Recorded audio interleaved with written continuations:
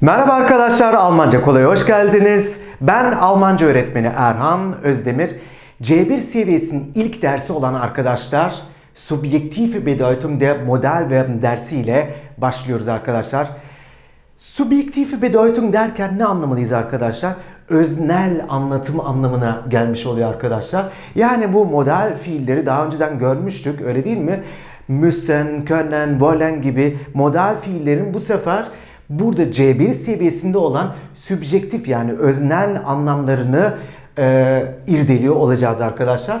Şimdi buraya baktığımızda mus, müssen fiilini görüyoruz. Müssen neydi arkadaşlar? Zorunluluk anlamına geliyordu. Bakın burada ganz sicher kesin bir değil mi? Yüzde yüzle ifade edilmiş 100%. Yani burada bir kesinlik söz konusuysa eğer ganz sicher yani bir kesinlik söz konusu olduğundan dolayı ne yapıyoruz arkadaşlar? Mus kullanıyoruz değil mi? Yani mus e, ve bunun çekimlenmiş halini düşünmeliyiz. Buraya baktığımızda müste var arkadaşlar. Burada da konjunktif 2 hatırlayacak olursanız bunu da ayrıntılı bir şekilde görmüştük. Müste olarak yorumlanıyordu öyle değil mi? Bakın burada da fast sicher neredeyse eminsek eğer 90% yani %90'la ifade edilen tabi bunlar takribi yüzdeler arkadaşlar. Kesin kez budur e, diyemeyiz yani bu tabii ki 88 olabilir, 90 olabilir, 85 olabilir. Yani takribi yüzdeler diyebiliriz bunun için. Demek ki fast sicher neredeyse eminsek bir şeyden o zaman ne yapıyoruz arkadaşlar? Konjunktif 2 olarak kullandığımız müssen ne oluyordu? Müste değil mi? Ve bunun çekimlenmiş hali şeklinde karşımıza çıkıyor. Demek ki bu 90% ile verilmiş oluyor yani %90 ile.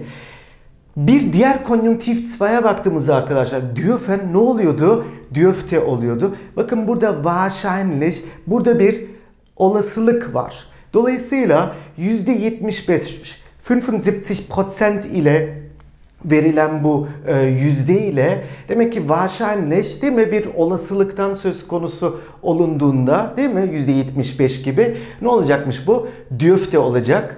Vermutlich bakın burada da e, olasılıkları derecelendirmiş oluyoruz. İşte bu sebepten yüzdeleri verdim. Bakın burada da vermutlich Burada da bir olasılık var ancak wahrscheinlich kadar, dürfte kadar değil. Dolayısıyla 50% %50 ile ne demiş oluyoruz arkadaşlar? Kan. Dolayısıyla vermutlich kan ile ne olmuş oluyor? Ee, eşleşmiş oluyor. Burada bir %50 bir olasılık söz konusu olmuş oluyor. 40% bakın burada %40 olduğunda möglicherweise Burada da gene bir olasılık söz konusu. Möglicherweise bakın vermutlich'ten bir tık aşağıda olan bir e, yüzde. Dolayısıyla bakın könne'nin konjunktif 2 olarak formunda ne oluyor arkadaşlar? Könnte şeklinde yorumlanmış oluyor bu %40'lık e, olasılık. 30% e, bakın burada %30'u görüyoruz. Vielleicht neydi? Belki. Unsicher bakın burada emin değiliz. Dolayısıyla emin olunmadığında ne, ne diyorduk? Unsicher diyorduk. Bakın burada da mag demiş oluyoruz. Es mag sein şeklinde. Birazdan zaten bunları örneklerle pekiştiriyor olacağız arkadaşlar. Bakın burada olasılık baya baya bir düşmüş. Könte'den daha bir tık aşağıda olan 30% %30'la ifade edilmiş. Bir toparlayacak olursak arkadaşlar %100 100% ile ne verilmiş oluyor? Bakın burada ganz sicher bir kesinlik söz konusu olduğundan mus demiş oluyoruz öyle değil mi? Fast sicher neredeyse eminsek eğer değil mi? Bakın burada 90% ile ifade edildiğinde değil mi %90'la ne oluyormuş? Müsste oluyormuş ki bu da konjunktif 2'da değil mi? Bu müsste, dürfte, könnte bunların hepsi konjunktif Konjunktiv 2 e, başlığı altındaydı. E, 75% bakın burada olasılık düşüyor %90'a göre değil mi? Wahrscheinlich ne yapıyormuşuz? Dürfte olarak ifade ediyormuşuz. Vermutlich %50'lik bir dilime giriyoruz. Ne olacak demek ki burada?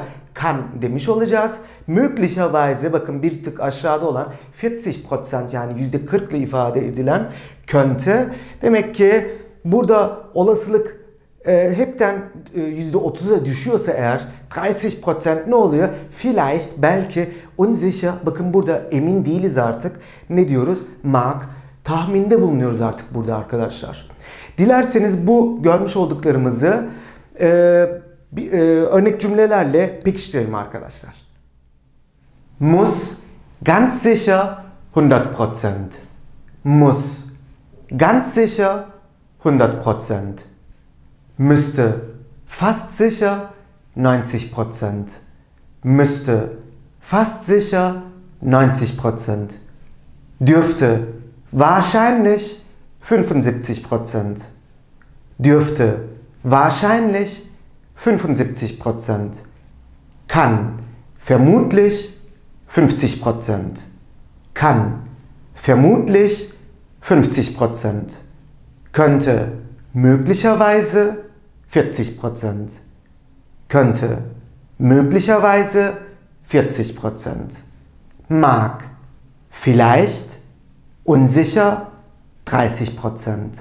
Mag vielleicht unsicher 30%. İlk örneğimize bakalım isterseniz arkadaşlar. Angela muss in der Schule sein. Evet artık bunu biliyoruz değil mi arkadaşlar? Angela bu bir kadın ismi öyle değil mi? Muss in der Schule sein. Okul, okulda olmak zorunda diyecek olursak demek ki ne diyeceğiz arkadaşlar?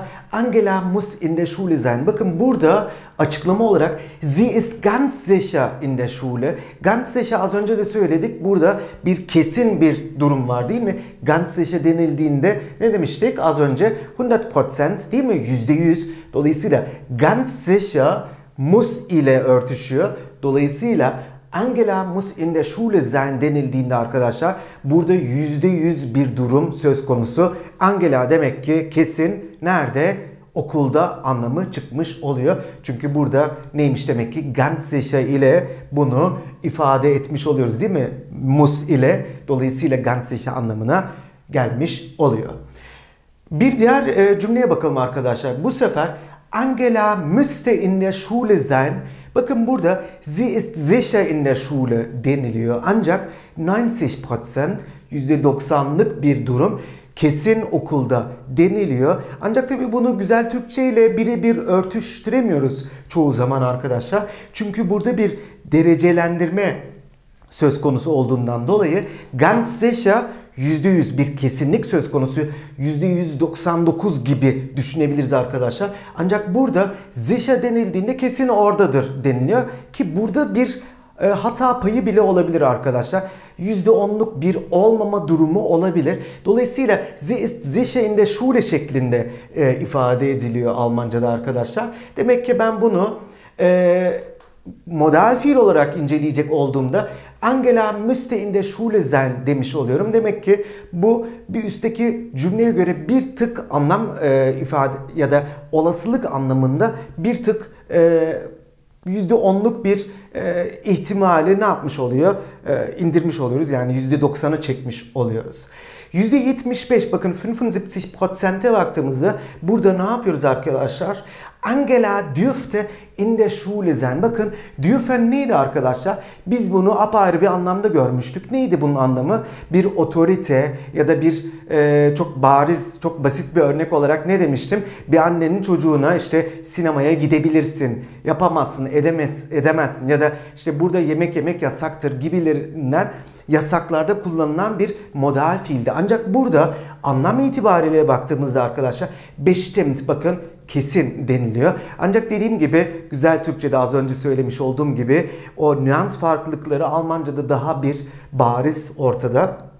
Sie ist bestimmt in der Schule yani 75% oluyor. Bunun modal fiil karşılığı arkadaşlar konjunktif 2 olarak karşımıza gelen dürfte olarak yorumlanıyor. Tabi dürfte Angela bakın 3. tekile göre yorumlandığından dolayı ne olacak? Angela dürfte in der Schule sein değil mi arkadaşlar? Zaten e, model fiil kuralımız neydi? E, mastar halde asıl fiilimizin sonda olmasıydı. Öyle değil mi? Bunları zaten e, ayrıntılı şekilde önceki e, seviyelerde görmüştük. Dolayısıyla burada e, Angela okulda olmalı denildiğinde ve %75'lik bir durum söz konusu ve %25'lik bir hata, bir yanılma e, durumunda değil mi?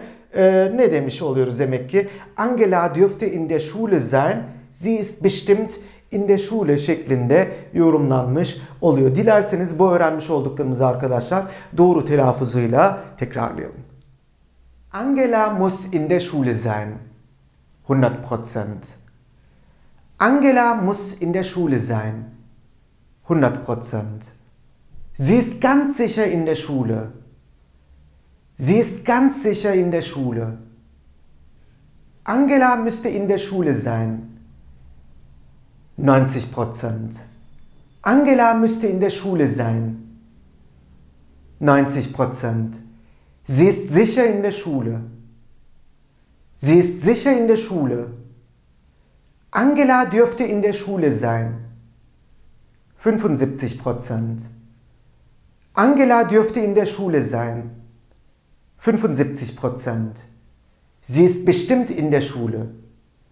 Sie ist bestimmt in der Schule. Sıradaki cümlemizle devam edelim arkadaşlar. Angela kann in der Schule sein. Evet bu cümle arkadaşlar 50% yani %50'lik bir durum söz konusu. Daha bir olasılık değil mi? %50'ye düşmüş durumda.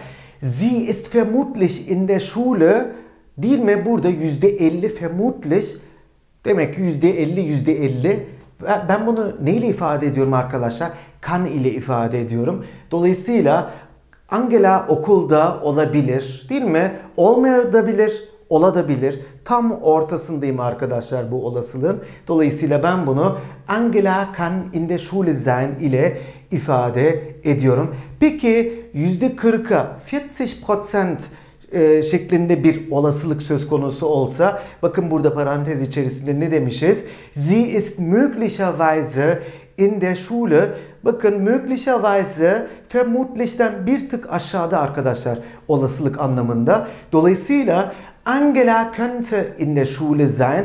Burada e, bir yüzde kırklık durum söz konusu olduğu için değil mi? Yüzde elliden daha e, az bir e, olasılık söz konusu. Dolayısıyla ben bunu könte ile ifade ediyorum. Farkındaysanız arkadaşlar baya böyle bir milimetrelik bir e, durum söz konusu bu model fiillerde. Dolayısıyla kan ve könte arasında aslında bakıldığında köken olarak könen model fiilinden geliyor. Ancak burada konjunktif 2 olarak karşıma çıktığı için könnte e, şeklinde çıktığı için bu ne olmuş oluyor arkadaşlar? 40% bakın %50'den %40'a düşen bir olasılık söz konusu. Demek ki, demek ki möglicherweise denildiğinde könnte şeklinde ifade ediliyormuş. Peki olasılığım %30'a yani 30%'e düştüğünde ne yapacağız arkadaşlar? Könte bu sefer kendini nereye bırakacak? Mark model fiiline bırakacak. Dolayısıyla aslında mögen neydi arkadaşlar? Sevmek, hoşlanmak anlamında değil mi? Biz bunu nerede kullanmıştık? Mesela yiyeceklerde Ich mag pizza derken değil mi? Pizzayı severim ya da ailemi severim derken değil mi? Ne diyoruz? Ich mag meine Familie. Ee, ancak burada şöyle bir şey söz konusu arkadaşlar. Angela mag in der Schule sein. Bakın %30'luk bir olasılık. Sie ist vielleicht in der Schule. Ne dedik az önce arkadaşlar? Vielleicht ya da unsicher. Burada emin değiliz artık değil mi? %30'a düşmüş durumda. Dolayısıyla vielleicht mag burada bir tahmin yürütüyoruz artık arkadaşlar. %30'luk bir tahmin. Dolayısıyla Angela mag in der Schule sein şeklinde yorumlamış oluyoruz. Neyi? %30'luk olan bu olasılığı. Değil mi? Dilerseniz bu görmüş olduklarımızı doğru telaffuzuyla arkadaşlar tekrarlayalım. Angela kann in der Schule sein. 50%. Angela kann in der Schule sein. 50%. Sie ist vermutlich in der Schule. Sie ist vermutlich in der Schule. Angela könnte in der Schule sein. 40 Prozent. Angela könnte in der Schule sein. 40 Prozent. Sie ist möglicherweise in der Schule. Sie ist möglicherweise in der Schule. Angela mag in der Schule sein. 30 Prozent. Angela mag in der Schule sein. 30 Prozent. Sie ist vielleicht in der Schule. Sie ist vielleicht in der Schule. Sıradaki örneğimize bakalım arkadaşlar. Sırada sollen modal fiilini görüyoruz. Hatırlayacak olursanız sollen neydi? Meli malı anlamında kullanılan bir modal fiildi öyle değil mi? Ancak cümlemize baktığımızda arkadaşlar bu kapsam içerisinde e, bakıldığında medya dili olarak karşımıza çıkıyor Almanca'da. Medya dilinden kasıt ne arkadaşlar? Gazete, radyo, televizyon, internet gibi habercilikte kullanılan metinlerde arkadaşlar sollen modal fiili karşımıza çıkıyor. Cümlemize bakalım ne diyor?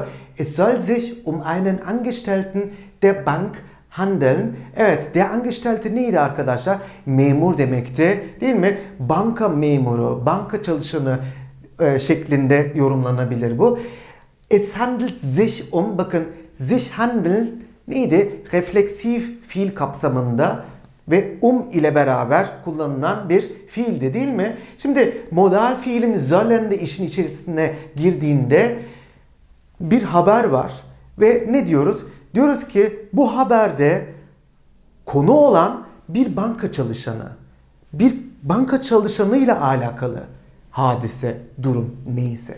Dolayısıyla es soll sich um einen Angestellten der Bank handeln demiş oluyoruz. Tabi burada der Bank denildiği için belli başlı bir banka kastedilmiş oluyor değil mi? Ee, bir sonraki cümleye bakalım arkadaşlar. Bu da gene bir haber metni. Ne diyor cümlemiz? Man sagt, dass der Täter ins Ausland geflohen sein soll. Bakın man sagt denilen o ki dass der Täter der Täter suçlu demek arkadaşlar. Ins Ausland neydi? Yurt dışına demekti. Fliehen bakın burada geflohen'i görüyoruz arkadaşlar.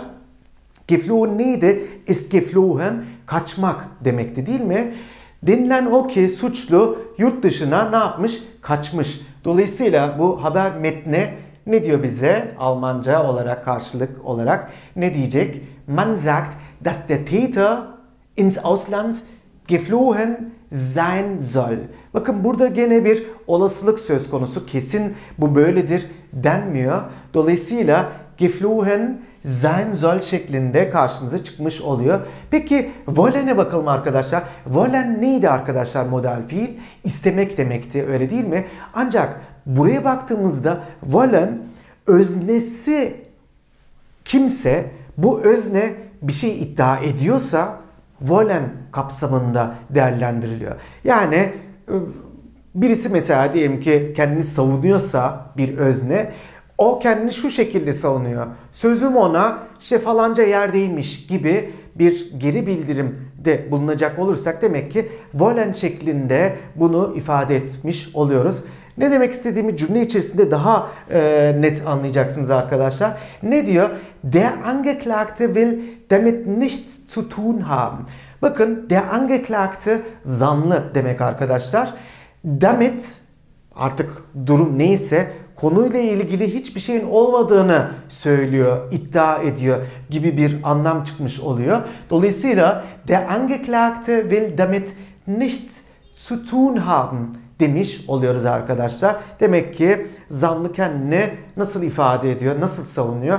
Benim bu işle hiçbir alakam, ilgim yok, alakam yok şeklinde ifade etmiş oluyoruz bu cümlede değil mi? Der Angeklagte will damit nichts zu tun haben cümlesiyle. Ve sonuncu cümleye baktığımızda arkadaşlar der Angeklagte behauptet er will nichts gewusst haben. Bakın burada arkadaşlar bir üstteki cümleden farklı olarak ne var? Behaupten fiili var. Behaupten de e, ne yapmak? İddia etmek değil mi? E, yani kendisini o şekilde savunuyor. Ne şeklinde savunuyor? Er nichts gewusst haben. Wissen neydi arkadaşlar? Bilmek demekti. Dolayısıyla bir şey bilmiyormuş. Değil mi? Zanlı kendine bir şey bilmediğini ifade ederekten e, ne yaptı? E, savundu şeklinde ne yapmış olabiliriz? Söyleyebiliriz. Dolayısıyla der Angeklagte behauptet, will nichts gewusst haben. Bakın bunu da pekala e, medyada e, okuyabileceğiniz ya da duyabileceğiniz bir cümle yapısı. Demek ki Wollen'i ve Zollen'i daha çok medyada duyabilirsiniz arkadaşlar. Hani konuşma dilinde pek fazla karşımıza çıkmayabilir. Çünkü bunlar resmi dilde, daha doğrusu basın dilinde karşımıza çıkacak olan yapılar. Dilerseniz bu görmüş olduklarımızı doğru telaffuzuyla tekrarlayalım. Es soll sich um einen Angestellten der Bank handeln. Es soll sich um einen Angestellten der Bank handeln. Man sagt, dass der Täter ins Ausland geflohen sein soll. Man sagt, dass der Täter ins Ausland geflohen sein soll. Der Angeklagte will damit nichts zu tun haben. Der Angeklagte will damit nichts zu tun haben. Der Angeklagte behauptet, er will nichts gewusst haben. Der Angeklagte behauptet, er will nichts gewusst haben. Dersimizin sonuna geldik arkadaşlar. Bu dersimizde subjektive Bedeutung der Modalverben konusunu görmüş olduk. Bir sonraki dersimizde görüşmek üzere diyorum. Hoşçakalın. Tschüss.